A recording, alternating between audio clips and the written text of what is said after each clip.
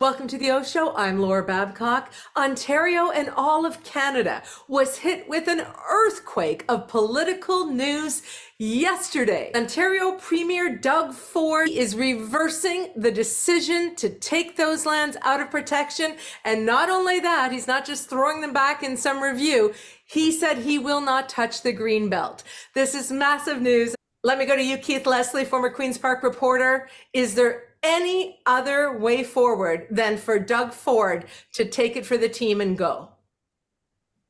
I really don't think so. Not as he can't stay with the team right up to the 2026 election. Just can't be done. I don't think he as a leader is just there's just way too much baggage. This isn't going to go away. There's still so many more questions to be answered. The investigations are going to keep going on. We haven't even heard from the Mounties yet. So this is going to drag out for Lord knows how long. Uh, he needs to start grooming another leader if he wants to have some influence or at least you know let his caucus know that there's going to be a leadership change and get set for it. So the party has time to rebuild itself with someone else. I thought that his his which must have been a terrible moment for him on thursday to come out in niagara falls. An hour early that shocked me alone. Uh, but to then you know uh, reverse course admit it was a big mistake. He backed right down. We're going to put it back in. I mean that must have been incredibly difficult for him to do and yet he knew maybe his caucus finally convinced him. We told him that the backbenchers were going to come to you sooner or later and let you know they, this was unsustainable. They clearly did. Uh, and I think it's remarkable. I think you you talked about the message you're sending across the country. Absolutely. The message here is that a majority government, just reelected for a second mandate with a second majority, can be forced to back the hell down when the public doesn't like it and when journalists do their job and really dig in and start digging up stuff about Vegas vacations and uh, you know that that tie right into it. A major developer and the the premier's housing staffer right in the premier's office. All of this stuff that just stunk to high heaven, and I'm convinced that that that that resignation of Rashid Khalid, uh, and then the, the, the stench, the outright stench of that whole Vegas vacay, the developer, the premier's office, all tied right together. The digging into that's not going to stop but at least reversing course is going to stop the public protests, I would think, for the most part. Those, you know, the big meeting we saw in Ancaster, two of them, people go, What do you mean we're going to engage with the government? No, just don't even engage with them. We don't want this. The public was so clear, so vocal all the way through this uh, that it's just uh, my first question was, Premier Ford, what took you so long? I don't think his government survives the incredible pressure. There will not be a cabinet minister who's respected. There will not be a local MPP who is listened to. Every other file, whether it's the Ontario Place, the 413, what's happening with healthcare, LTCs, education, everything is now going to be seen as potentially corrupted by what we have found out was going on in the premier's office. I think. But they're potentially winnable fights. We can win the Ontario Place fight, perhaps. We can win the fight against privatization or more privatization of the healthcare system. It's there. This government is wounded, badly wounded, and, and you know they're going to have to do a lot to make up to it. But getting rid of the premier will go a long way if they can rebrand themselves back to being what was that? Oh, the PC Party of Ontario, not Ford Nation. Right, it, the door is wide open for them to do this to rehabilitate themselves but they cannot do it as long as he stays in the premier's chair. Why drag it out? Why are you going to be constantly a source of distraction and a source of rage for your party? You know, it's the same argument people are making about how Trudeau's got to get out of the way because he's become too much of a lightning rod for for the liberals federally. I mean, you can't have it both ways, folks. you know, Ford has become more toxic. His brand is done. The question is, how long do you suffer under it? So let me ask you, Mark in ways that there's still a lot of uh, rubber uh, uh, on the road to go over. Three years is a long time. Mm-hmm. Um, the public uh, has short memories, um, and you know people vote in a they vote in a moment, and you know they, and we can't vote right now. So there's probably a lot of work going to be undertaken in the next little while to uh, salvage uh, Ford's brand. Um, does he win in the next election? Maybe not, but I don't think he's going to resign anytime soon. Um, I just don't see it unless they're they're coming up against something even more awful in the in the coming weeks. They know um, what's going to be happening. Uh, they know what's to come. This is only going to get more worse. He's been to a plowing match. If you have farmers against you at a plowing match, and you are a conservative government, that's a big wake up call. And you know, farmers aren't a huge voting bloc, but they are the heart and soul of you know of, of the vibe of Ontario. And when and the reception he got this week at the plowing match must have been a huge wake up call for him because if you lose farmers, yeah, you know, and you're a conservative, everyone and Keith said this earlier in a in a show of yours. This is going to get right into every single MPP, PC MPP constituency. They are going to hear about it, and then they are going to go, "Enough's enough! Like we got it, we got it, we got to reverse course here."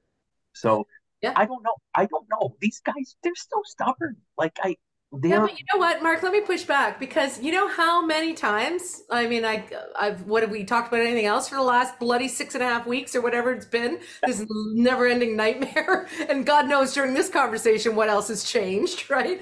Um, how many times people have said to me, Ford's never going to give back the green belt, Laura. Never going to happen. Never going to happen, right? Bullshit. You know, nobody is so powerful, so stubborn, so whatever. He's not a god. He is a man who not only made a mistake, he treated the biggest, most populous, you know, province in Canada with utter contempt. He treated people like fools. He came out lying after how many shows did we do where he kept coming out lying, right? Lying about the need to use the, the green belt for housing, lying about this, lying about that. So when people say to me that Doug Ford can make it the next three years, I'm like, I'm the, you know, and let's not forget the criminal investigation that might be happening. I don't know if that's what you're alluding to, Mark, that they know something worse. Like, what's worse than these shady Vegas massages and you know this this money envelopes full of like land deals and everything we've seen so far in Mr. X and Phoenix Kiss and who knows who else in this cast of the fundraiser selling the stag tickets. Oh my God! There's PC another... Party Chief fundraiser selling the stag tickets. Oh, thank you, thank you, Keith. So that so say that more slowly for our audience because people might have missed that breaking detail in the last 48 hours. Yeah, the Integrity Commissioner issued the report into what was called the the stag and doe for the premier's daughters. It wasn't. It was a stag for her fiance, I guess. It wasn't a doe. The premier clarified that yesterday. Oh, okay. But the integrity commissioner is saying that because the premier himself wasn't involved in the in the picking of the, the lands that were removed from the green belt, or apparently not directly involved, he couldn't find that he'd violated the Members Act. But he did say that it did seem he wanted to note that the chief fundraiser for the PC Party of Ontario was selling the $150 uh, stag tickets to developers. Okay. Uh, boy, the smell, mine, it just keeps permeating up and up and up. And that's the kind of stuff that just, whether you're a farmer or a steel worker or anything in between, any any ordinary person just goes, well, that stinks. We just look at that and go, that's just not right. Uh, you family oh. friend, the premier is a family friend. Well, you're the premier, you've been so for five or six years you know the rules. The appearance is almost as bad as the reality. Not in the integrity commissioner's rules, unfortunately, but in everyone else's rules, the appearance of a conflict is just as bad as the conflict. Why don't you go out of your way to avoid them? He seems to go out of his way to invite them. I don't get it. And the thing that really stuck with me yesterday, I, I, didn't get back to my point. The first one that I wanted to was when he came out and he apologized, and said he was very, very sorry and we made a mistake and we'll never touch these again. That's leadership, showing that you can come out and apologize and say you were admitted you were wrong. And then when Laura Stone, I think it was in the Globe and Mail, asked, Premier, have you seen the light on the Greenbelt, on the need for the Greenbelt, the benefits of the Greenbelt? well, you know, we need to build houses. And uh, no, he has not at all seen the light on the benefit of the Greenbelt versus he, property owners' rights, and he never will. And that is not leadership. That is not leadership. that is pure human survival instincts, okay? A leader would have said that after the first week of pummeling from the public. He did not need six and a half weeks to know that he had let down the people of Ontario, broken their trust. There have been a thousand freaking shows on this, right? So that's bullshit. Not only was that bad enough that he waited that long and made it so much worse on everybody, but the fact that he followed that up by saying nobody's perfect like a freaking five year old? You remember those shirts, Nobody's Nerfect? What the hell? Are you not a grown ass man? It reminded of my friend asked her her five year old because he, he, was quick to apologize and like, what does it mean you apologize? Everybody calms down. That was a five year old's take on an apology. And that's what we saw from the premier yesterday an effort to just get everybody, please calm the hell down. But to make his cabinet stand behind him, those were some pretty grim faces standing there while he took a half hour pummeling. I don't know why you'd make them do that. Uh, you know, sad. It looked like a walk of shame. It looked like they were walking towards their execution or whatever that was. Like, how much damage does he want to do to their brands? I wouldn't want to be caught in that photograph. And if calming no. everyone down was the, uh, if calming everyone down was their stated strategic objective, uh, do I look calm? You should see my Twitter feed. I'm hearing from people across the country now. This has gone national. Um, but you know, I do leadership training in communications, and yeah. it is not waiting till the last possible second to do the right thing. That is what people who aren't leaders might choose to do but leadership trains you to take the bigger picture into mind and to be somebody who does not want your team to suffer. In fact, you're there to inspire, encourage, and uplift. So if that's what he considers leadership or anyone else spinning it as leadership, then you don't know what leadership truly is. Mark, let me go to you on the cabinet shuffle that is supposedly happening. Like I, I feel like he could put God in his cabinet and it's not going to matter to anyone. I mean, how, who cares who's in the cabinet or what their portfolios are if you know, if the if the what is it, the fish is rotten at the head.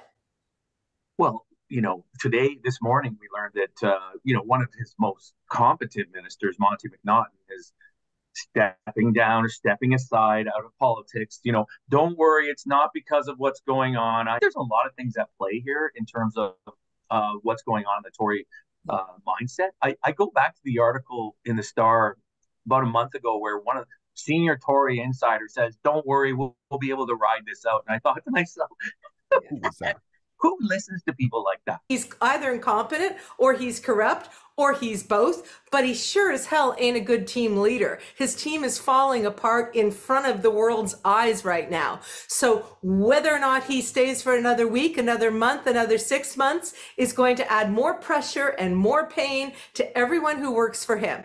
If he was a person of integrity, he would get out of the way and give people a chance to save and salvage their careers and their reputations. If I was an MPP in his government, I'd be looking for an exit ramp to the private sector just like that minister or that person did this morning. I mean, why would you stay with something that's not only now toxic, but it's not even like just started. The legislature doesn't even sit until next week. And in terms of the NDP, I'll have Marit Stiles on the program, the leader of the NDP, next week. Uh, and I'll certainly talk to her about all of this. The people organized to protest, to put skin in the game every single day. Without them, the NDP, Liberal, or Green Party wouldn't have anything to celebrate today. It was the movement of people, the gathering of people of all political stripes, conservative, liberal, NDP, Green, who came together, and the media.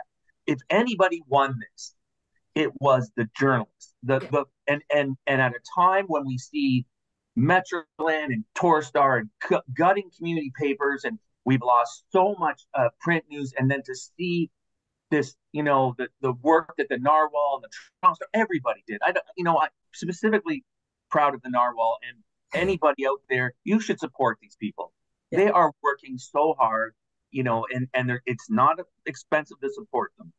If it was not for the CTV journalist who talked to the people at the Vegas hotel, we wouldn't know about that fancy massage they all had, right? If it wasn't for Colin D'Mello asking that from Global News, asking that tough question to Ford early on and got Ford to reveal how enraged and fearful he was by going after Colin and creating a whole new media storm out of that, we wouldn't be where we are. If it wasn't for the narwhal, you know, breaking this early on or really going after this and all the other independent journalists and TikTok people, you know, uh, it has been all ages, all provinces. There have been commentary coming out of the West Coast about that. I mean, really, Keith, journalism, independent journalist, traditional journalist, all of it. What's your comment as the veteran journalist on this panel? I think you've done more probably as a journalist than Mark and I. Um, what do you say to all of that?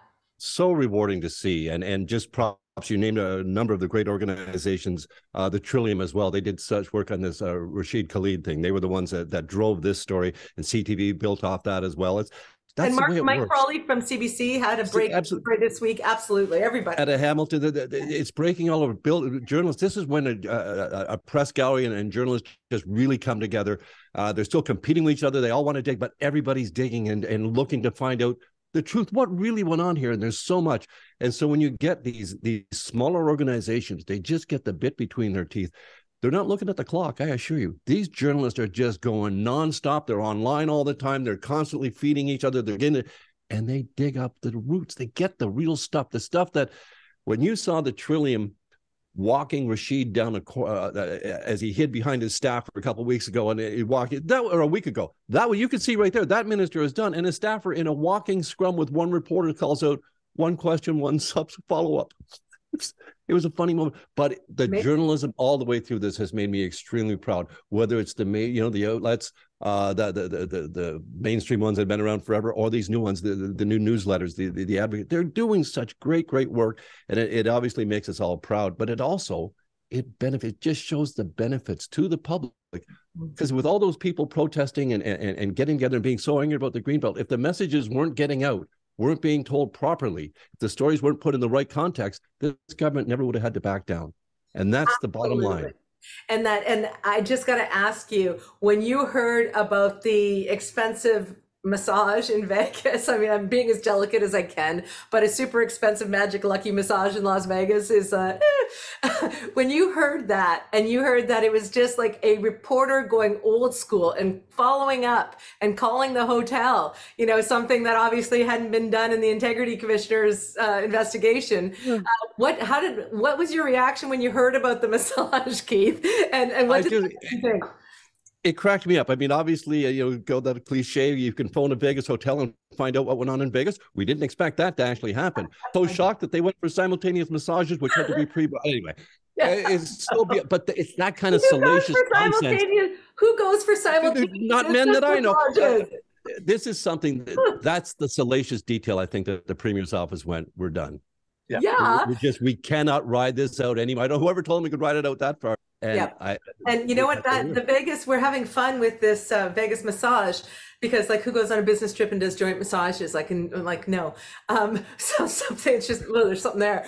But the fact that everyone I've talked to who's not into politics in the last 48 hours has said, oh, it stays in Vegas, I guess doesn't stay in Vegas. I mean, that hit people on a personal, easily populist kind of a level, right? Like, what are they doing in Vegas? Uh, so and I, you have so many trips to Vegas, you can't remember your dates for which ones you were there and when you. Just the fact that that one lie to the integrity commissioner got exposed by journalists and to your point keith all the journalists all the indies all the bloggers all the youtube and the tiktok people are now invested in this in the truth in this what do you think is coming?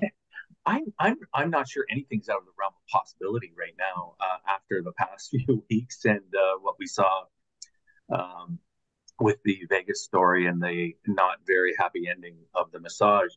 Uh, so I, I I'm I'm I think there will be at some point a criminal charge, and I think that is you know I think the art I feel like the government is is is, and I know they are. I worked in government. You always get the advance of what's to come, right? So they know um, they'll know before it hits the. So they have a chance, like like with the Auditor General's report. They would have received the Auditor General's report. They would have had time to prepare their communications plan to respond to. It. It's not like a drop. So, you know, with the RCMP investigation, uh, with other people who have ties to developers.